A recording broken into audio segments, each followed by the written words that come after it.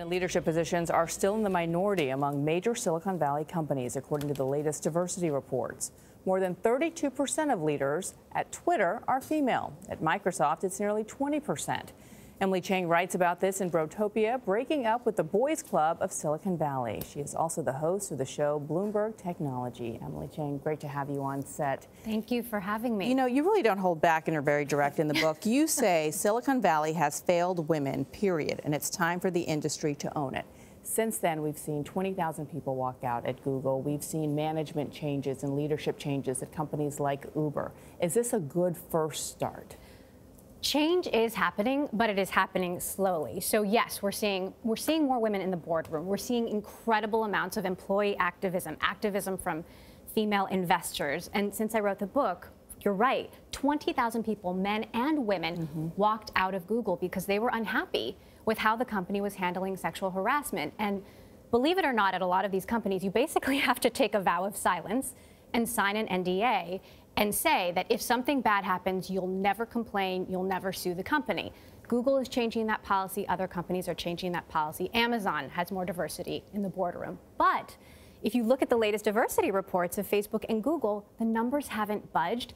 And I would argue we should be looking at the technical roles where women have even less of those mm. jobs. So the activism goes to show that these companies can change if they're compelled to, but they're not going to do it on their own. And what's alarming about this is that this is a sector, and a lot of these jobs are the jobs of the future, right? STEM, technology companies, and they're not hiring nearly as many women as other industries like Wall Street.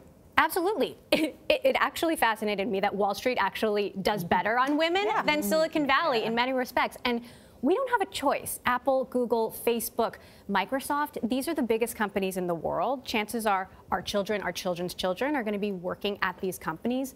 And the problem isn't just that they might be sexist places to work. It's that sexism and racism and bias are built into these products that billions and billions of people are using. So Amazon's facial recognition technology gets white men right 100% of the time. When it comes to somebody like me, what happens? Gets darker skinned women wrong 35% of the time. Yeah. Mm. Imagine being accused of something, accused of a crime because the tech got it wrong.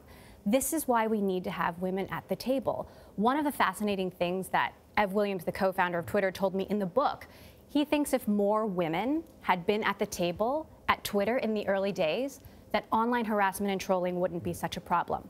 Huh. Can you imagine if the yes. internet was a friendlier place? Yes. Yeah. it's hard to imagine. Can you tell me, Emily, for you, what's the line between a company that's actually doing the right things, getting rid of the NDAs, those kinds of things, and those that are trying to look like they're doing the right things? So I pointed out a company called Slack, which is a workplace collaboration company where they have really strong leadership. And the CEO has committed to make hiring women and minorities a priority. Who's so the CEO? The CEO is Stuart Butterfield. He's a multi-time entrepreneur, so he has the benefit of hindsight. They've got half women at the company, half uh, of managers are women, and it's actually a cool place to work. Like women and men want to work at, the, at this company because they get it.